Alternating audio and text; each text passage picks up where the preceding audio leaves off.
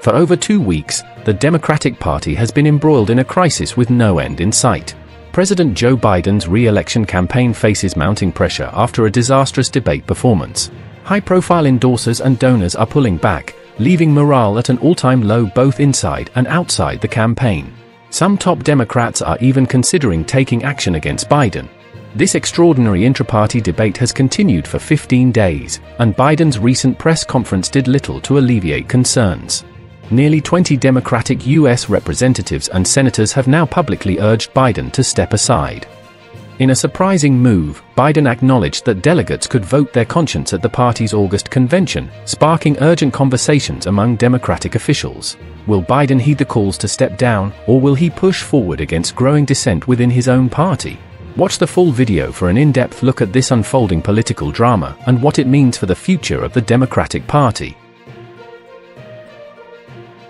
Don't forget to like, share, and subscribe for more updates hit the bell icon to stay notified of our latest videos.